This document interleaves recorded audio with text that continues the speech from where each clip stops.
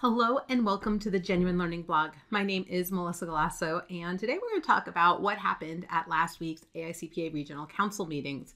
So, this was kind of a fun one for me. This is my third and final year on council, uh, which makes me a little sad. Uh, officially, I will roll off in May, and some really new, cool people have already been nominated to join. So, I'm excited to have our transition, but I am sad to see the end of my term come. Um, but obviously, I started council if you can count back three years, in the middle of COVID. And so most of my council meetings started virtually. And then we added in person meetings for our fall and our spring council. However, we have not had a regional council meeting in person uh, that had stayed virtual last year, despite the fall and the spring being in person. Our March meeting was still virtual. And so this was my first uh, in person meeting for council and for the regional council. And so it was kind of fun. Um, and it's a little bit different because it is actually a regional council. And so they actually go to four cities and break us up into smaller groups. Council's very large, right? It's based on the population uh, and number of CPAs in each state, and they have a certain number allocated to them based on that. Plus, those of us like me, who is an at large member in there, plus state society, uh, you know, representatives, plus AICPA, uh, you know, staff. So it's a, a lot of people at council. Um, and so they break us up in our regional council meetings into regional groups. And each uh, state is assigned to a location. And so North Carolina, which is where I live, was assigned to Dallas, Texas. And so last Friday, I got to go to Dallas, Texas uh, to attend the regional council meeting.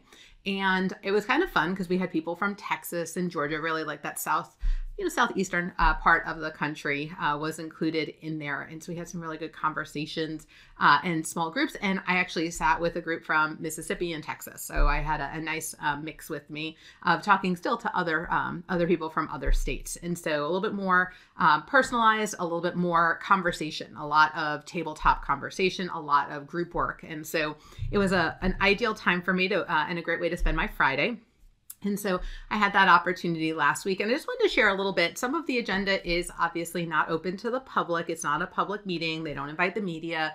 Um, so we can't talk about everything we talked about at council, but the agenda, um, just to kind of give you a perspective of what's top of mind for AICPA, obviously national pipeline strategy is really important and so we had um, lexi kessler who is chairing that. She is from aprio. She is awesome uh, really trying to figure out how can we handle these pipeline issues where we're seeing uh, people not coming into the funnel but also leaving the funnel uh, and really great conversation there. Sue coffey from the aicpa and jennifer wilson from convergence coaching all did a great job uh, really impressed with the work that they did and the questions that were raised. And really no nothing off the table. They were very much like share your thoughts. And i, I really enjoyed that Obviously, you can't have a council meeting without Barry giving his professional issues update.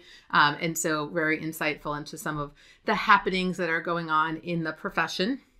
Um, but obviously, I really enjoyed the state advocacy um, conversation. So, Marta Z, I'm not even going to try to pronounce her last name. Um, she's the Vice President of State Regulatory and Legislative Affairs for the AICPA. She gave a great update on things like taxation of services, um, licensing, uh, sort of legislation that's out there, ESG reg- uh, regulations. So, came with a little bit of a, a background on what the AICPA is sort of monitoring and what things that they are following pretty closely.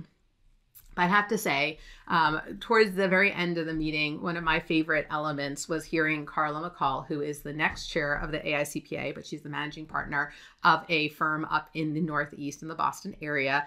Um, and she really talked about human capital of the future. Like she talked about how her firm is just really changing from an input method time to an output method, um, really changing how they look at things like time off, how they look at holidays, uh, and just really put a what I would say human first concept. The culture of the firm is phenomenal. Um, I know that they're able to recruit from all over the country despite being based specifically in the Northeast because of their human first culture. And so she was telling a lot of great stories, and I think it really resonated with a lot of people. And again, while she talked about firm, um, she did mention many times that these are not obviously firm specific issues and they're not firm concepts, right? They're very much a anybody who's working in this profession. So overall, I had a great time. It was, I think, six hours of meetings and definitely a great opportunity to be talking about the future of the profession and really putting council to work in these small group sessions. So hopefully in our May meeting when we have it open back up to the public and we do have some other items, we'll we'll swear in our new chair. We'll have uh, Corey Ramsey, who's currently the the chair, he will be rolling off, and we'll see Carla McCall join. Uh, and so we'll have really fun uh, opportunity there uh, to continue to work on behalf of the profession and move us forward. So, just wanted to share a little bit of an update about what was happening uh, last week. Uh, we had a great time, uh, lots of good conversation, and again, looking forward to just keeping those conversations moving forward and that they don't get left behind and that those really important things are keeping uh, we're moving forward. We're not kind of just seeing what happens. We're being proactive in our measurements. So uh, thank you guys so much for joining me and i hope to see you on a future blog have a great day guys. Bye bye